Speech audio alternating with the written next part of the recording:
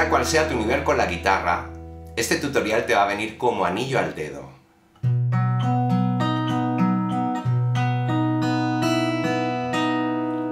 Porque te voy a enseñar acordes asombrosos. Los acordes con los que yo empecé a sonar distinto y dejé de ser principiante.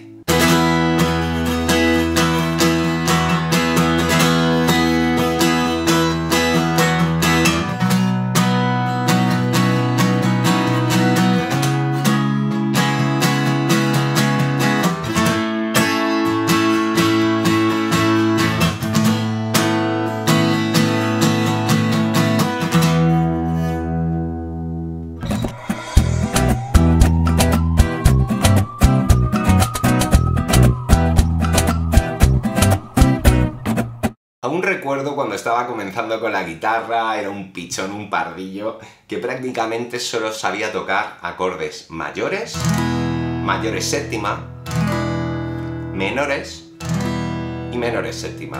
Ese era mi mundo, ¿vale? Que realmente que con estos cuatro tipos de acordes, la verdad es que tenemos como para tocar la gran mayoría de las canciones que suenan en la radio o las canciones que nos gustan. Pero es cierto que hubo un momento, me acuerdo especialmente una tarde, en la que decidí perderme en la jungla de seis cuerdas. Decidí olvidar todo lo que sabía y eh, quería encontrar acordes con sonidos distintos. Y lo bueno es que encontré acordes con sonidos distintos que además eran bien sencillos. Eh, son acordes que desde luego, luego me vinieron muy bien para poder tocar las cejillas de manera más sencilla, ¿vale? Así es que, por eso os decía, este tutorial eh, os va a permitir unas figuras nuevas, unas sonoridades nuevas, pero para todos los niveles, ¿vale? Vamos a ir, por supuesto, como siempre, de más fácil a más difícil. Y vamos a comenzar, eh, fijaros, con el acorde de Mi. Pero, claro, todos estaréis diciendo, pero a ver, Juancho, te estás tocando Mi con los dedos 2, 3 y 4.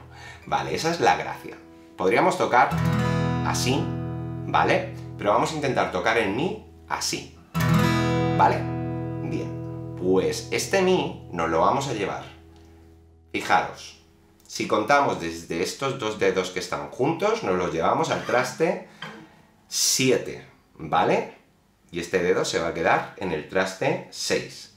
Y lo que vamos a hacer es poner el dedo 1 en el traste 5 de la sexta cuerda, ¿vale? Entonces fijaros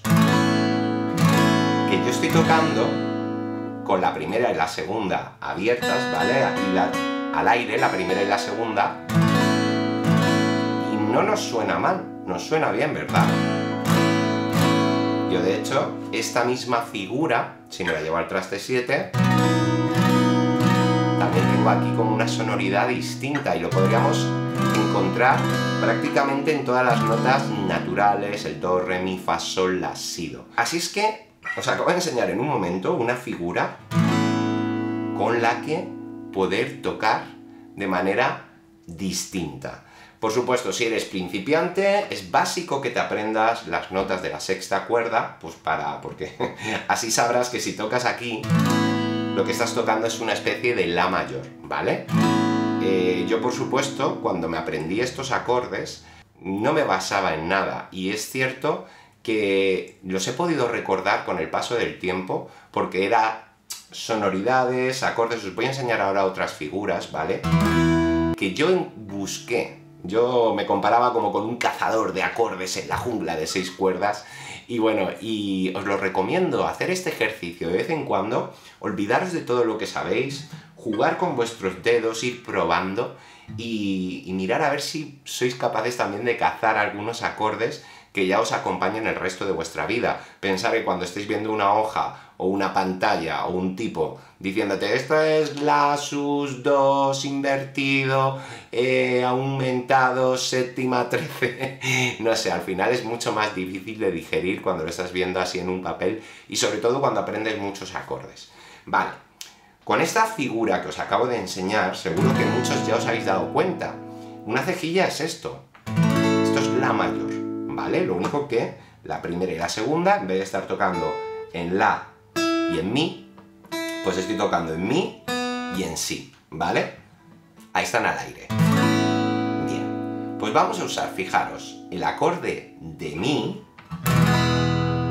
que se toca pues desde la sexta y además la primera al aire y la sexta al aire son Mi. Es decir, que son notas consonantes y nos va a ayudar a que esto suene guay. Pero lo vamos a intentar, suene guay, suene chévere. Vamos a intentar hacer el Mi con esta figura, ¿vale?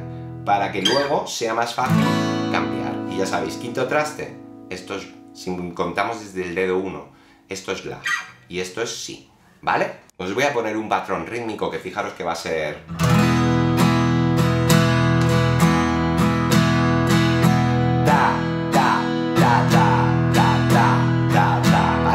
Vamos a poner los dedos. Empezamos. Mi.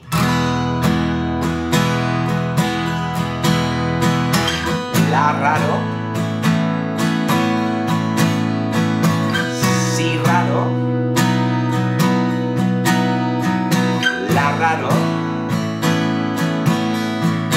Volvemos a mi.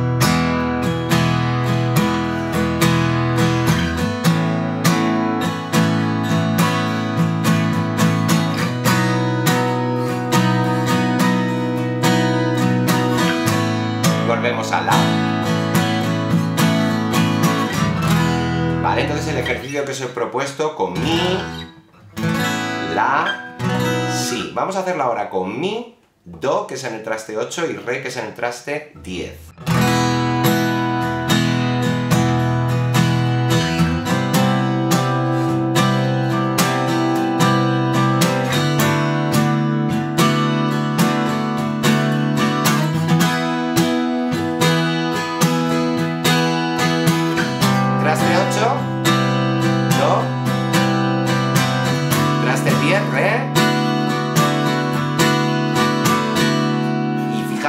Si tenéis acústica o eléctrica vais a poder tocar con la misma figura en el traste 12 y estáis tocando un Mi, que esto es lo que yo he usado en la intro, ¿vale?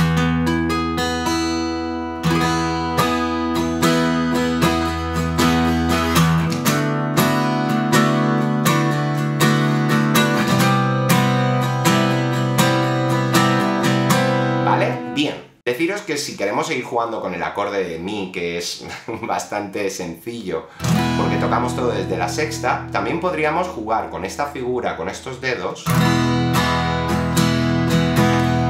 Bajamos al traste 4, es decir, vamos a bajar dos trastes.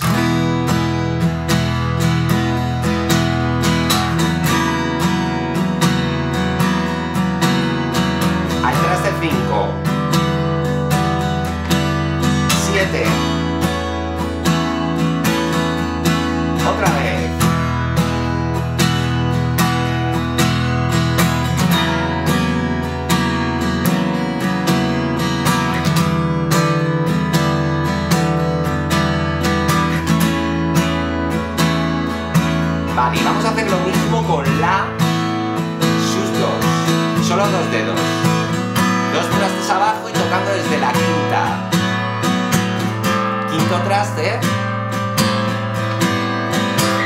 séptimo traste. Volvemos a mí.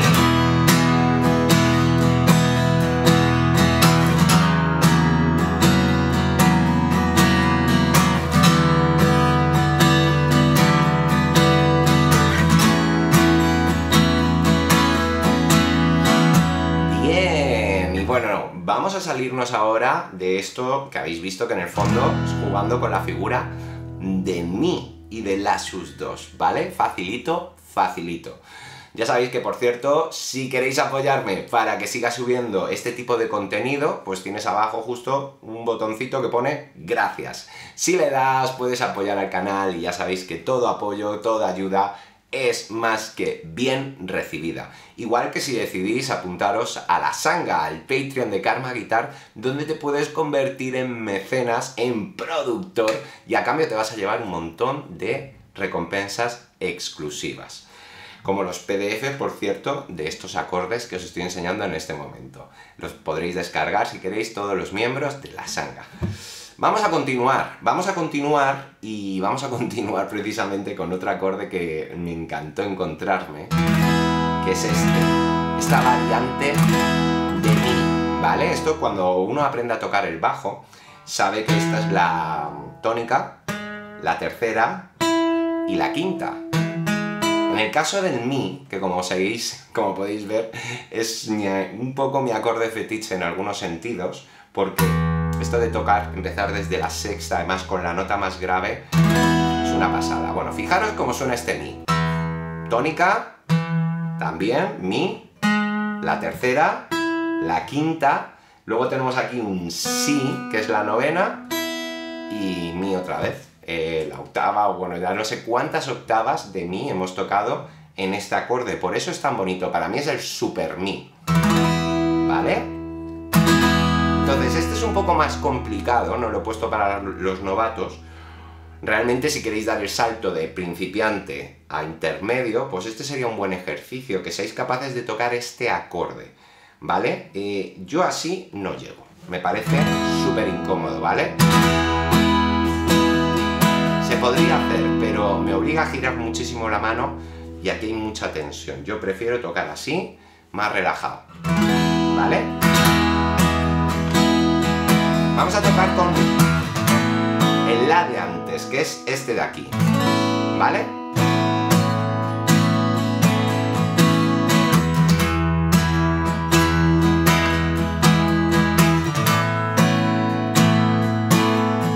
Si, La, Mi. ¿Vale? Entonces la verdad es que, eh, bueno, esto mismo nos lo podríamos mover una cuerda hacia aquí y tocar desde la quinta, ¿vale?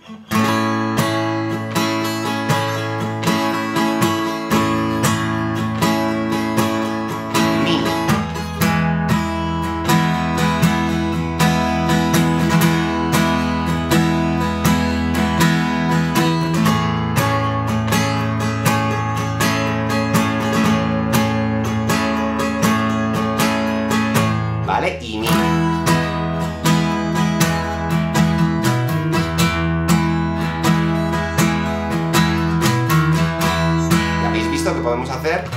Con, con un poco de bajeo.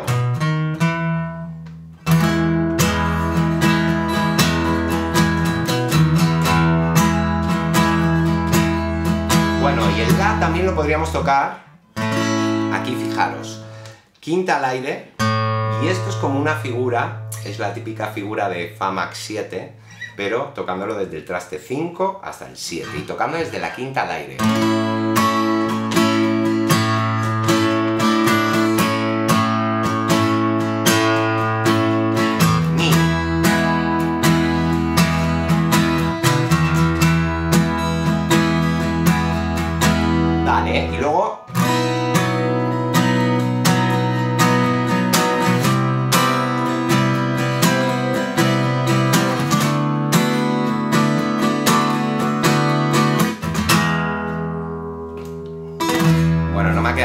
Ese último Mi. Hacía bastante tiempo que no tocaba este acorde, por cierto.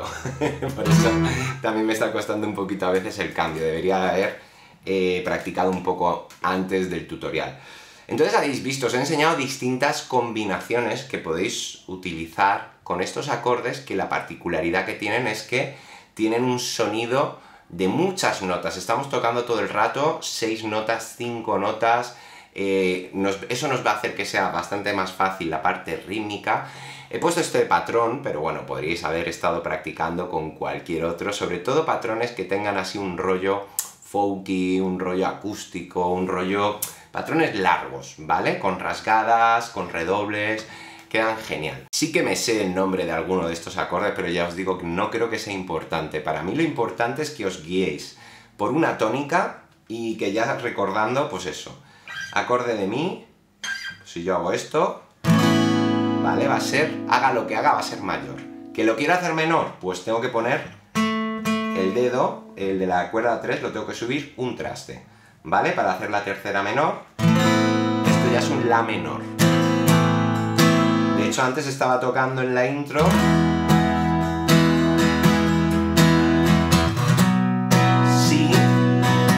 cuando me pasa el Do sostenido, he tocado, fijaros, ¡Qué bonito! Bueno, y antes de daros una última nota a este tutorial, recordarte que tienes disponible mi curso de guitarra para principiantes si no te aclaras, si estás empezando con la guitarra y no consigues crecer, pues querido amigo, querida amiga, es porque quizás no estás viendo lo realmente importante. Tengo un curso de guitarra para principiantes con el que todos esos problemas te los ahorras por tan solo 25 euritos. Y luego tienes un curso de guitarra intermedio si ya controlas un poco más y quieres entender de verdad a tu amiga de 6 No tienes más que escribirme a karmaguitarra.gmail.com Y como última pincelada antes de despedirme, decirte que prestes mucha atención a las inversiones si quieres conseguir sonoridades distintas. Porque fíjate que normalmente una inversión siempre es un acorde al que le ponemos una nota más grave que la tónica. Por ejemplo, esto es el Do, pues esto es el Do barra Sol. Entonces suena con muchísima más profundidad. ¿Vale? Más adelante también, pues llevamos demasiado tiempo sin publicar un tutorial sobre el método Cajet, ¿vale? Y también quiero publicar un tutorial sobre inversiones para enseñaros a...